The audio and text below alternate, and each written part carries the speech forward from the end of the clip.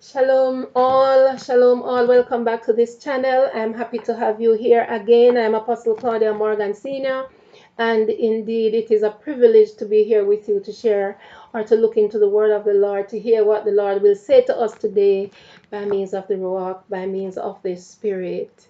I pray you are well and uh, you know the, you're enjoying the blessings of the Lord each day is a, a great blessing. The gift of life is such a great blessing that we should never take for granted. Okay, so today I am on and uh, I will be sharing with you a vision the Lord gave me last October 2022. I actually shared with a few people before, but a few days back in last week, the Lord impressed it upon my spirit to share with His people. And as people of God, we need to be more aware um, of what is happening around us. We need to have a higher level of consciousness of what is happening around us in the world we live in. And we also need to understand the impact of these activities, things that are happening, how it affect and impact the body of Messiah. So today contrary to what many may believe, and I'm talking to those who consider themselves to be very religious people, but at the same time, they are denying the Spirit of the Lord that is still active in this time. They're still denying the Spirit of the Lord that is still active in this time. Um, the prophecy from the prophet Joel is still relevant today. And we see the Apostle Paul makes reference to the text in Acts chapter 2, verse 17. And he says, In the last days, God says, I will pour out my spirit on all people. Your sons and daughters will prophesy. Your young men will see visions. Your old men will have dreams, or your old men will dream dreams. And I want to quickly add that the Lord is not giving a new word. It's not that you're hearing a new word from the Lord. Any prophetic word given must line up with scripture. And so, any person who comes to you with a word that does not line up with the word of God, you need to be careful. You need to be wary of those persons. In the time of the prophets of Israel, there was never a time they would these prophets would come out with a word that did not line up with, with the Torah, right? And meaning the first five books of the Bible, God's instruction that He gave to Israel, right? God always called out the prophets um, to give a rebuke for breaking covenant or for giving a word of hope based on covenant. It is always on those two principles that the prophets would come out and whatever they say normally lines up with scripture. And you would have heard me said on many occasions um, as it relates to scripture that we need to be like the Bereans. Who are the Bereans? So the Bereans were a, a group of noble group of um, Jewish people who carefully examined the teachings of the Apostle Paul, right?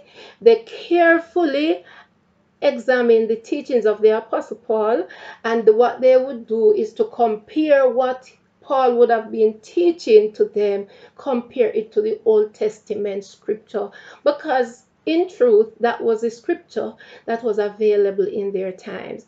And so I pray that by means of the Spirit, we will have that earnest discernment in us to be like the Bereans who have a deep desire or passion for understanding the word of the Lord. Amen. And so that is my encouragement as we look at scripture and as we study scripture. So let me share the vision the Lord gave me in October 2022. And before I do so, I just want to pray over this session right now.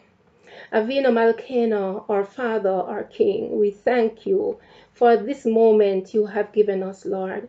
We thank you for this moment in time when we can appear in your presence to, to hear what you will say to us, when we can come before you, Father, to seek forgiveness and cleansing, when we can come before you as we repent of our sins. I thank you, Heavenly Father, for this moment. And even as I come out to, to share this word, this vision that you have given me a while back. But now is the time you want me to share it so others can hear. I pray that by means of the Ruach, that you will cover this word, that you will cover this word, Lord, and that you will draw those whom you want to hear this word to hear, and that the word will do a work in our hearts. And as a result of this, we will be drawn closer to you. Thank you, Father, as we commit this word to you in the name of Yeshua the Messiah. Amen. Amen. Okay, so, all right, October 22 it was, as I slept, in the far distance, I saw a rider on a black horse coming at full speed. It was coming at full speed and it was coming in my direction. And in the vision, I saw an, an open portal and the rider was about, or the horse was about to make its entrance through the portal I saw, and I heard myself in the realm of the spirit saying, You are not coming in here. You are not coming in here. You are not coming in here. It was really a quick, scary moment, and I woke up right? I remember in the morning I was telling my husband, and he said to me that he heard me, but he didn't understand what I was saying. And that has been the case so often when the Spirit of the Lord would speak to me, um, you know. Um, sometimes he really doesn't understand. But as I walk out of the vision, immediately my mind went back to the block black horse that the apostle John saw in the book of Revelation, in Revelation chapter 6. And I want to read, I'm going to be reading that um, text in a few minutes, right? We're going to be talking about, about, about this and what is the Lord saying. Is he bringing a new word? No, he's not. And we're going to go into scripture now to prove that he is not giving a new word he is giving us he is he, he wants us to hear something that is already in scripture but maybe we are just not paying attention to so horses are always mentioned in scripture and horses in the bible often represents god's activities on the earth it basically represents warfare right Horses are agents of God's wrath and vengeance against sinful man. Let us understand this that God is a just God and He will bring judgment as is necessary. But at the same time, He will bring judgment upon mankind. He will not. He will not bring judgment upon mankind without giving a warning. That's exactly what happened what he did in Egypt, right? We talked about Egypt last week in our study.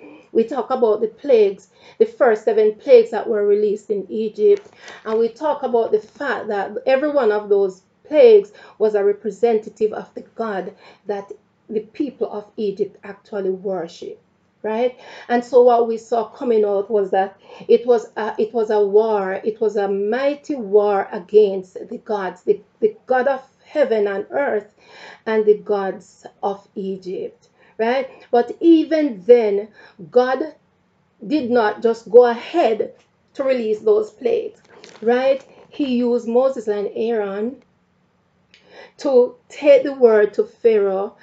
Um, you are to let my people go free so that they can worship me. And God had given to the, him, Pharaoh, that is more than enough time to redeem himself to let the Israelites go free, but he refused, right? So that's exactly what happened. That's exactly what happened, and that's what he did. Also, in the time of Noah and the flood, Noah, we learned, preached for I think it was 120 years. He gave man time to repent, right? In the time of the destruction of Sodom and Gomorrah, we saw also Abraham praying, making intercession for the people to say, God, if there's 50 people, righteous people, and then it come down all the way to 10, and even then you couldn't find 10 righteous people. So the point I'm making is God is always sending a warning. He will always send his warning before anything happens. Right? And so, although we have been forewarned in scripture many times on activities to come, I believe that, um, and I also pray, right, that the word will reach the hearts of all people and we will pay attention to the times and the seasons that we are operating in as we look into the Word of God. And I'm going to be reading from Zechariah chapter 6, 1 through 8. It says, um, it says, Okay, I looked up again, and there before me were four chariots coming out from between two mountains, mountains of bronze. The first chariot had red horses, the second black, the third white, and the fourth dappled, all of them powerful. I asked the angel who was speaking to me, What are these, my lords? The angel answered me, These are the four spirits of heaven going out from standing in the presence of the Lord of the whole earth. The one with the black horses is going to the north, the one with the white is going to the west, and the one with the dappled horse is going to the south. Then the then the when the powerful horses went out, they were straining to go through the earth, and he said, Go through out the earth. So they went through the earth. Then he called to me, Look, those going toward the north country have given my spirit rest in the land of the north. So in the vision, the Lord specifically showed me a rider on a black horse. Amen. The rider on the black horse, the color black in scripture represents deep distress and mourning. I want us to be paying attention to this. The color black in scripture represents deep distress and mourning. In Job chapter 2, verse 28, it represents mourning and i would love for you to just go just just take note and you can read these texts for yourself. In jeremiah chapter 14 verse 2 it represents famine. In lamentations chapter 5 verse 10 it represents judgment and sin. And in jude verse 13 it represents death and the grave. The color black in scripture does not carry a very, very good note or good impression as we see coming out of the text. All right. Um, in Revelation chapter 6, I want to read this now. It says, I watched as the Lamb opened the, the first of the seven seals. Then I heard one of the four living creatures say in a voice like thunder, Come. I looked, and there before me was a white horse. Its rider held a bow, and he was given a crown, and he rode out as a conqueror bent on conquest. When the Lamb opened the second seal, I heard the second living creature say, Then another horse came out, a fiery red one. Its rider was given the power to take peace from the earth and to make them slay each other. To him was given a large sword. When the Lamb opened the third seal, I heard the third living creature say, Come. I looked, and there before me was a black horse. Its rider was holding a pair of scales in his hand. Then I heard what sounded like a voice among the four living creatures saying, A quart of wheat for a day's wages, and three quarts of barley for a day's wages, and do not damage the oil and the wine. Already we would have seen the similarities of the horses in the book of um, Zechariah and in Revelation.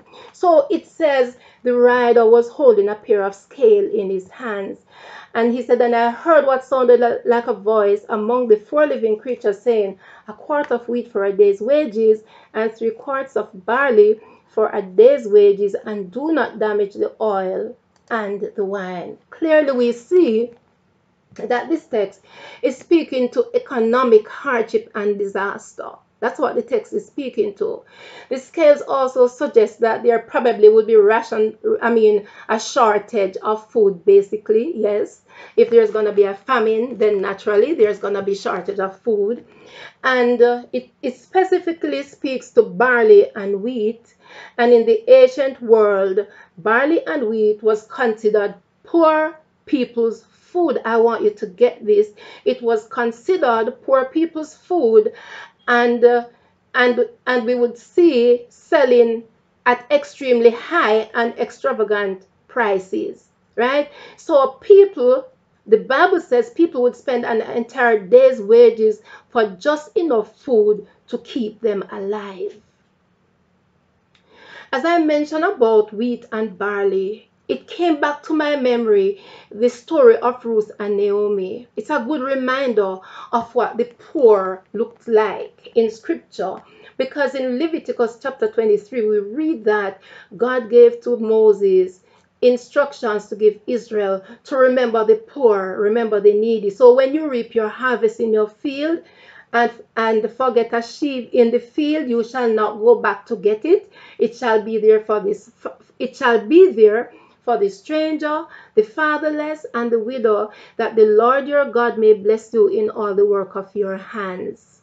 Okay, so that is what barley and wheat in scripture speaks to the poor and the needy. But it also says, don't waste the olive oil and wine. And olive oil and wine symbolize luxurious items, right? that were exclusive domains of the rich. But this does not say that they would not be impacted, right? Because even if you're rich and there is a famine, even if you're rich and there is a famine in the land, it means that what you have is going to be depleted. So the overall text, as we see it, speaks to economic famine and hardship right? And famine, as we know it, can lead to death. We have seen that happen before, and I'm gonna bring up I'm gonna bring up a scripture to prove that it has happened before, and what has happened before, it will also happen again. The natural result of war, right? Um, famine. When there is war, then we can also expect famine. And so we see that the second horseman, the one on the red, represents war and bloodshed. That's what it says. Right? Then another horse came out, a fiery red one. Its rider was given power to take to take peace from the earth and to make them slay each other. To him was given a large sword. We're talking about war and bloodshed here right? And so naturally, there's gonna be different layers of impact when there is a famine and when there is war. And so the third horse is black. And this it, it clearly represents, as the scripture says, famine. And we know that in St. Matthew chapter 24, Yeshua taught a lot on the end of time. He says that be aware of these times right? Nation will rise up against nation during the tribulation and individuals against individuals. It's going to be a time of murder. It's a time of assassination. It's a time of bloodshed. It's a time of revolution. And it's going to be a time of war.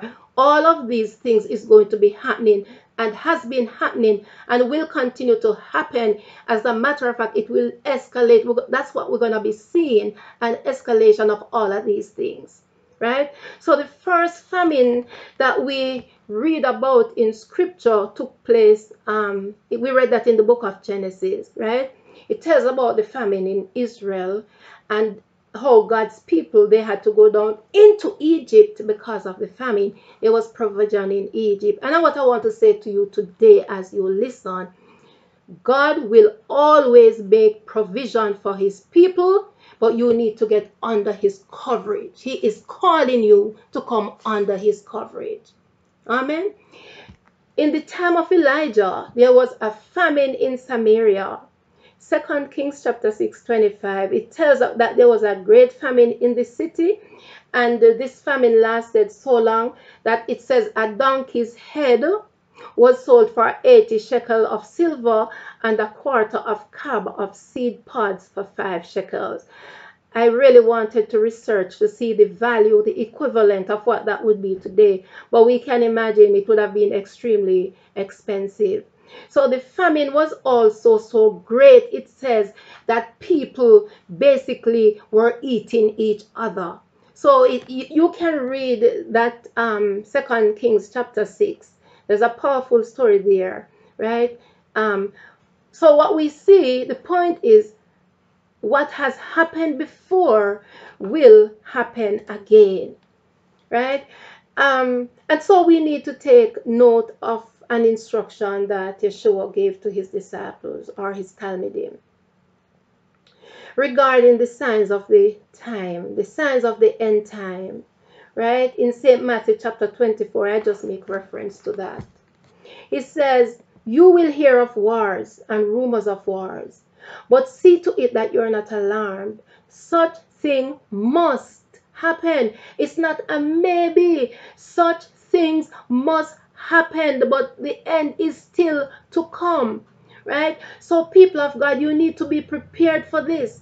And, you know, there's a lot of argument on the truth is, many persons in the body of Messiah is not prepared for what is to come. And I believe this is a reminder that the Spirit of the Lord want me to come out to say to you, you are to remember, be aware of these things. It is going to happen. It is not a maybe. It must happen. It must happen. But what we must remember, in spite of all that is happening, the end is still to come.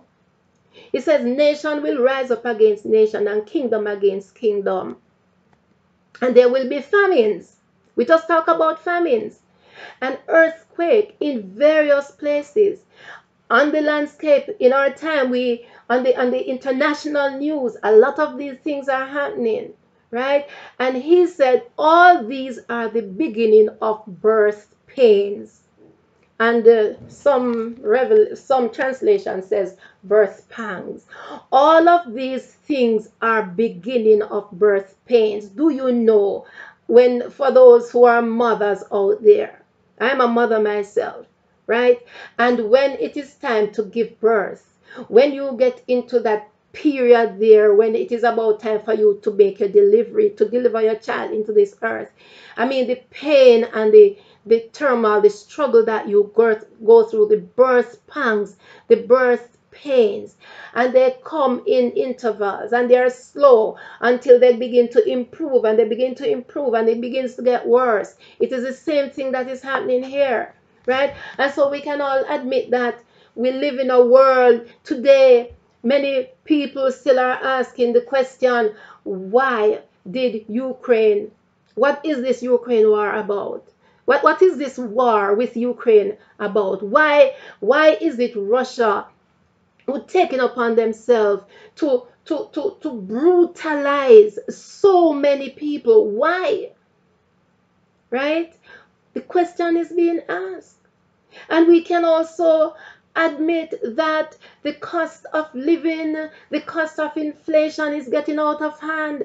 Earlier, the text mentioned, I, I made the point that barley and wheat speaks to the poor, and oil and wine to the rich. But everybody, as it is now, complaining about the high cost of living, the high cost of food price, the high cost of electricity, the high cost of petrol, the high cost of absolutely everything. It's like everybody is feeling it right but we can we can also admit that even since covid came there has been a serious change on the landscape not only physically but even so more spiritually even so more spiritually. So the signs of the time are everywhere. And uh, I, I like the reading from Luke chapter 21. 10 to 11 it says nation will rise against nation and kingdom against kingdom. Right? There will be earthquake famines and pestilence in various places and fearful events and great signs from heaven. Right? He said when these things begin to take place stand up and lift up your heads. Now is not the time to be giving in. Now is not the time to be faint hearted. Now is not the time to be thrown in the towel. Now is not the time to be giving up. The instructions to, to, the to the body of believers is that you are to stand up, lift up your heads, because your redemption draw is drawing near. Yeshua was speaking to his Jewish people. But you don't have to feel excluded. It doesn't exclude anyone. It affects all people, all nation, all tribe, all language. Doesn't matter where you fall. Today, the instruction is stand up and lift up your heads because your redemption is drawing near. St. Luke chapter 21, 10 through 11. And so, this is the encouragement I want to leave with you today as I saw it in the realm of the spirit. That rider on the black horse coming at full speed. You need to begin to to to to to, to get, you know, sometimes we need to understand that how the spirit work, how God's spirit work. And when he gives a revelation, what do you do with it? So for weeks, I have been praying on this. For weeks, I have been making decoration. For weeks, I have been covering. For weeks, I have been repenting for nations. For, for weeks, I have been repenting for myself, for family, for nations, for the body of Messiah, for Israel, for everybody, just praying over everybody, praying over everybody, praying over everybody. And so I want to raise two points as I close this because this was never meant to be really long right? The encouragement for you today is to repent and make teshuvah to return to God. God will only bring judgment on the nations when nations break covenant and are moving away from Him. That's when judgment is going to come, right? So if we repent and if we turn, and I like the Hebrew word for repentance, it's teshuvah, is to is to it is to to to to to to go back, to make to turn around and return to God. Return to the God of our forefathers, return to the God, the creator of the heavens and the earth. That's the first thing we need to do. In Second Chronicles chapter 7, 14, he says, if my people, and he was speaking to Israel specifically, if my people who are called by my name will humble themselves and pray, he said, I will hear from heaven. But it starts with repentance. It starts with a turning around. It starts with acknowledging that we are moving further and further and further away from God, and we need to come back to God. We need to return to Him. That's the first thing we need to do. He said, I will turn. But there is something Israel must do. There is something whether um, physical Israel or spiritual Israel must do, and it is to repent. Okay? Number two point. I want to say this to you. Do not be alarmed by the things happening around you. Be aware of the signs. Okay? St. Matthew chapter 24. Read that chapter. Be aware of the signs and lift up your, ha- your heads. Lift up your heads. Your redemption is at hand. We are in the book of Exodus study. And we see yesterday's reading, it speaks about the deliverance of Egypt, of, of Israel out of Egypt. Yeah, um, the blood had to be shed. And God says, Post the blood upon the door. And when I see the blood, I will pass over you. It's not that God didn't know where the Israelites were, He knew right? He knew. But he said, put the blood upon the door. Today, the question is Is the blood of Messiah on the door of your heart? Have you yet accepted him as Lord and Savior? When the children of Israel went down into Egypt as a result of the famine, when God unleashed the plagues on the land, Israel lived in a place called Goshen. And when the plagues hit, the plague of darkness. It is said that the darkness was so thick. It was a spiritual darkness. The darkness was so thick that you could feel it, basically feel it, right? But while darkness was in Egypt, there was light in Goshen. I feel today you need to get into Goshen, into that place of light. You need to be, you need to abide in the light right? Yeshua said, If you abide in me and my word, my instructions, my teachings, my teachings for life abide in you, you will bring forth much fruit and fruits that will remain. The third point there is in Habakkuk, yes, there's a text that I love in that um, book, and it talks about it talks about um I, am trying to find it. It's Habakkuk chapter 3. Yes, here it is. It talks about what the hope there that that that um chapter 3 verse um 17 right so when famine is on the land it's to be hard times for some people so I want to encourage you with this verse from Habakkuk chapter 3, verse 17 through 18. It says, When hardship come, when famine is here, when you're not able to buy uh, you know the, the services and, and the products and stuff that you need, he says in the time of Israel, he says, though the fig tree does not bud, and there are no grapes on the vines, though the olive crop fails and the fields produce no food, though there are no sheep in the pen and no cattle in the stalls, yet I will rejoice in the Lord. I will be joyful in my God, my Savior. So we are learning here that as we understand the times and the seasons, we need to learn to rejoice in the God of our salvation. We need to rejoice in the God of our eternal hope. Because why why we need to rejoice? Let me tell you why we can rejoice. We can rejoice because according to many Bible prophecies, the solution to the problems of needs and lack and everything encounter will come to an end when the kingdom of God appears. Right? When, when Yeshua returns and establishes his throne on this earth, on this earth, there will be no lack. There will be no lack. And in, in Revelation chapter 21, it says that. There will be no lack right? There will be no need. There will be no sickness. There will be no pain. There will be no more dying. There will be no tears because all tears will be wiped away. Praise the Lord. People of God, this is our hope. This is our hope. And so as I share the word, I want you to rest on the promises of God. We can rest on the promise because Yeshua says in St. Matthew chapter 28 20, Surely I am with you always to the very end of the age. But remember, you need to remember your covenant walk and you need to stay in covenant and stay under his coverage.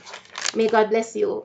And if this word blesses your heart, I encourage you to share it with your contacts, share it on your social media platforms. And not only that, I'm asking you also to continue sub to subscribe to the channel. And remember, you only do it once. We only subscribe once, but um, I'm going to ask you to like, um, to like, touch the notification bell for other uploads and may you have a great day this week you can walk with confidence knowing that god is with you he said i am with you always always to the very end of the age we're not there yet and he will remain with us May God bless you richly. Thanks for watching.